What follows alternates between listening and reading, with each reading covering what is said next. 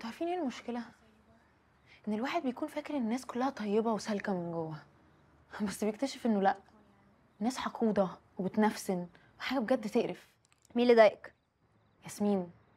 فاكرين البنت اللي كانت معايا في المسلسل؟ مالها؟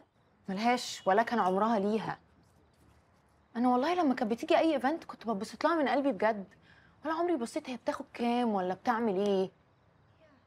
بس مش هتصدقوا اللي حصل دي كلمت طاهر وقالت له امسك لي شغلي وهديك اللي انت عايزه. قال إيه؟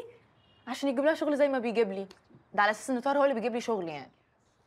طب وإيه المشكلة يعني؟ حتى لو طاهر مسك شغلها أنتوا الاتنين مفيش أي حاجة بينكم مشتركة. يعني ولا أنتوا نفس الشكل ولا أنتوا نفس الستايل فمحدش هياخد شغل التاني. وبعدين يا هبلة لما حد يحاول يقلدك المفروض إن انت تنبسطي. عشان معناها إن هي واخداكي رول موديل ليها. سبحان الله. نفس كلام طاهر بالظبط. أيوه عشان هو ده الصح. لا مش ده الصح على فكرة. أمال إيه الصح بقى؟ إنها غيرانة مني وبتقلدني وعايزة تعمل كل حاجة أنا بعملها يا أروى. مش للدرجات دي يعني لا يعني؟ للدرجة دي. ماشي يعني المهم طاهر قال لها إيه؟ لا أنا مش فاضي. طب خلاص بقى فين المشكلة؟ ما هو مفيش مشكلة ما هو خلاص. أنتوا عارفين انها كانت لسه بتكلمني أول امبارح وكانت ممكن تقول لي عادي على فكرة إن عايزة طاهر يساعدها وكنت ممكن أقول أوكي. بس لأ استنصحت ولفت ودارت من ورايا وكلمته.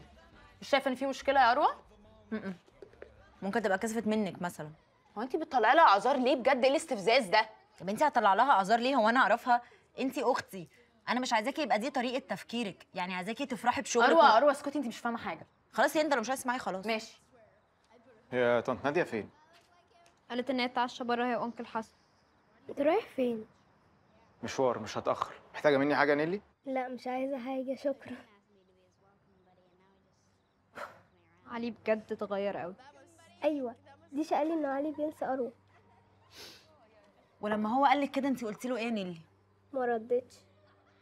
طيب لما يقول لك كده تاني قولي له اروى أصلا نسيته. ماشي؟ حاضر. انت فعلا نسيتي أكيد يعني. سمعت البنت دي بعتت له voice note تاني. هي بتعتذر له يعني إن هي اتأخرت في السينما مع صحابها. فلقيته بيرد عليها بيقول لها عادي براحتك المهم تبقي اتبسطتي. استغربته قوي بصراحة.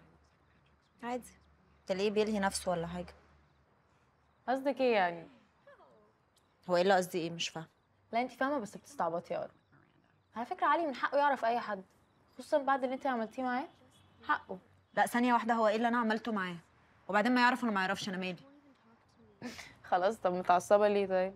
هو مين يا بنتي اللي متعصبة أنا ولا انت هو انت مش شايفة نفسك انت عاملة إزاي؟ عاملة إزاي؟ ما أنا قاعدة اهو شايفاني بتنطط ولا بشد في شعري؟ في إيه؟ انت يا بنتي بتنافسيني على صاحبتك علشان كلمت طاهر وقالت له يمسك لها الشغل بتاعها. كأن ما ينفعش حد يعمل حاجة الفنانة بتعملها. أنا برضو اللي منافسنا أمال مين؟ نيلي ممكن تطلعي فوق؟ انت. هنفسن من مين بقى؟ مني انت فاكراني مش فاهمة انت سبتي علي ليه؟ انت سبتيه عشان تمسكي في أي فرصة إنك تتشهري زي يا أروى. انت اتحولتي المريضه يا هند. أنا؟ آه انت هو انت مش شايفة نفسك انت بقيتي عاملة إزاي؟ ماما كان عندها حق. هي كانت خايفة عليكي من التمثيل بس انت ما يتخافش عليكي انت يتخاف منك. طالع لي كل جواكي يا حبيبتي طلعي طلعي. عايز تقولي حاجة تانية؟ انت لما تبقي شايفة إن أختك بتنفسن منك يبقى انت مش طبيعية. بصي لنفسك بقيتي عاملة إزاي من جواكي. انت ماشية تستغلي كل اللي حواليكي بما فيهم طاهر. انت أنانية يا أنا بقول لك إيه طاهر اللي انت شايفاني بستغله ده؟ على الأقل أنا بفيده. إنما انت ما بتعمليش أي حاجة غير إنك بتضري. انت مش عارفة انت عايز تعملي إيه أصلا ولا عمرك هتعرفي. وأحب أفكرك إن علي هو اللي شجعك إنك تشتغلي يا أروى. وأول ما شميتي نفسك بعتيه. مين فينا اللي أناني؟ أنا ولا انت ما كفاية بقى. أنت إيه كم السواد اللي جواكي ده؟ يخرب بيت. اخرسي يا أروى. أنت اللي تخرسي أنت هبه ولا أنت